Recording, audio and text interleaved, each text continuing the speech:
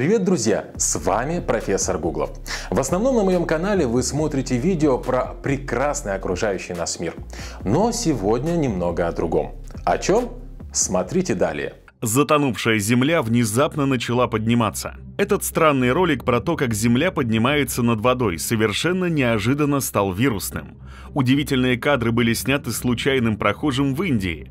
Наверное, он испугался, наблюдая за тем, как затопленная Земля поднимается с дна реки и резко обваливается. Земля возвышалась над поверхностью воды на целый метр. Люди выдвигают всевозможные теории об этом странном происшествии, включая версии об изменении климата, землетрясении и запертом под землей метаном, который который мог вызвать поднятие суши.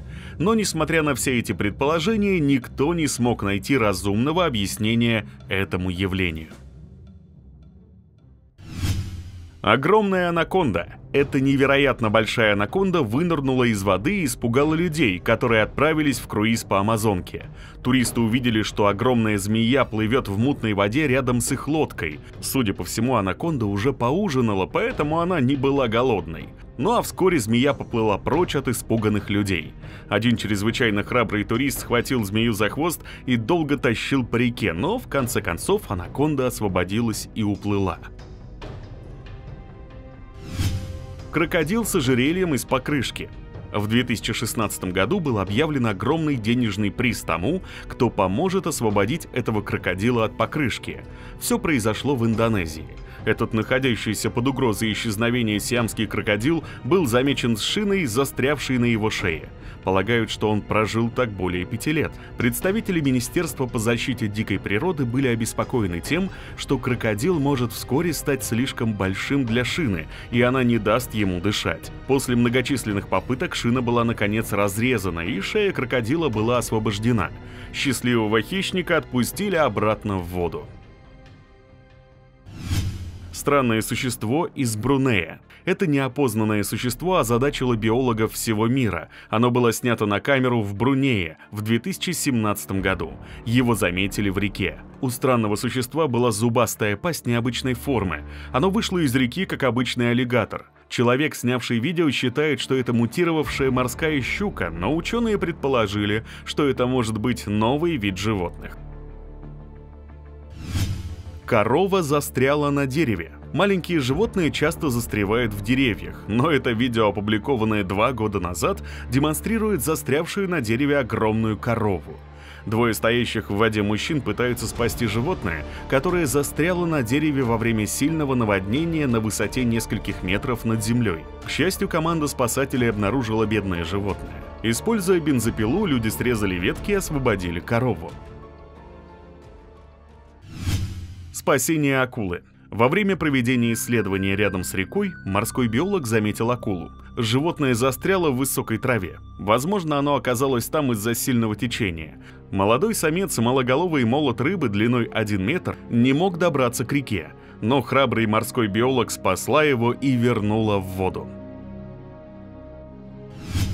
Аллигатор-вор. Не только люди бывают ворами. Посмотрите на эту голодную рептилию, которая не смогла удержаться и украла улов этого маленького мальчика. Ребенок был на рыбалке со своим отцом, где поймал большую рыбу. Но не успел маленький рыбак насладиться своей победой, как из воды стремительно выскочил аллигатор и украл его единственный за день улов. К счастью, рептилия смотрела только на рыбу, и мальчик не пострадал. Мега-аллигатор – этот аллигатор прогуливался по заповеднику во Флориде. Он настолько огромен, что многие подумали, что это сцена из голливудского фильма. Местные жители были удивлены огромными размерами животного и назвали его горбун. Флорида часто становится домом для огромных крокодилов. Но этот гигантский монстр удивил даже местных жителей. Он был 4,5 метра в длину и сразу стал знаменитостью. Рогатый крокодил – в 2019 году группа исследователей искала останки вымершего вида крокодилов, исчезнувшего около 2000 лет назад. Они нашли его в затопленной подземной пещере. Там лежал череп рогатого крокодила из Мадагаскара, который считается самым ранним родственником нильского крокодила. Ученые забрали череп в исследовательский центр, чтобы извлечь ДНК и детально проанализировать его. Гигантский угорь Этого огромного угря нашел этот человек. Бедное животное застряло и пыталось вернуться в воду. Молодой человек принял все необходимые меры предосторожности, чтобы избежать мощного укуса, а затем отпустил животное обратно в воду. Гигантский осетр – Чудовищная рыба весом 350 килограммов потрясла всех, кто увидел ее, когда она была поймана китайским рыбаком в мае 2018 года. Огромный осетр был метр в длину, и это была самка Калуги. Специалисты считают, что ей было как минимум 100 лет. Монстр был доставлен в местный научный центр для исследования и анализа. Там его держали в огромном бассейне. После детального изучения местные жители выпустили животное обратно в его естественную среду обитания. Рыба без лица. Эта причудливая рыба была замечена учеными впервые за 100 лет.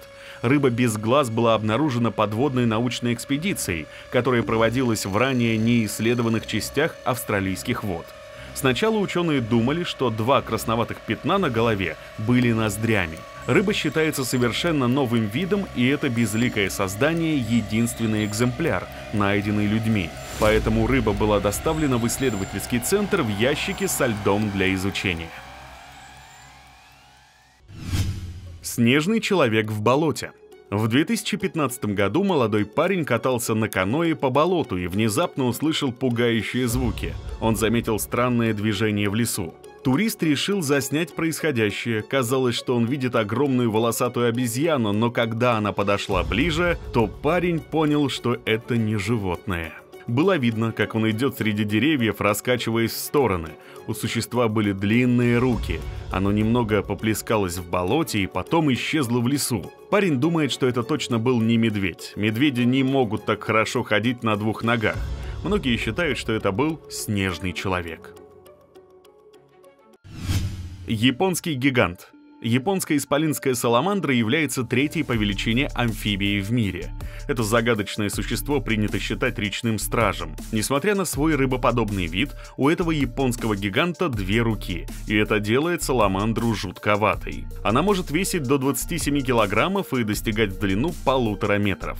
Японская исполинская саламандра живет на суше и в воде. Этот и без того ужасающий монстр по природе своей еще и враждебен, и мы бы не хотели оказаться рядом, если бы один из этих речных гигантов проснулся и решил подраться. Мы уверены, никто не сможет противостоять их мощной силе. Сегодня эти огромные звери являются исчезающим видом, и японские власти делают все возможное, чтобы сохранить тех немногих особей, которые остались в природе. Одной из проблем, влияющих на численность саламандр, является потеря среды обитания. Территория регионов, где они могут проживать, сокращается с каждым днем. Тем не менее, эти древние виды вряд ли вымрут.